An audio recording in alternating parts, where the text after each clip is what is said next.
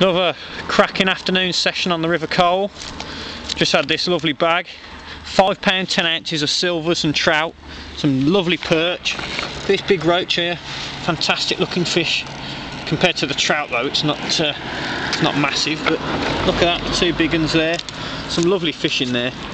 Really prime, some lovely perch as well, some really big perch. So it's all good.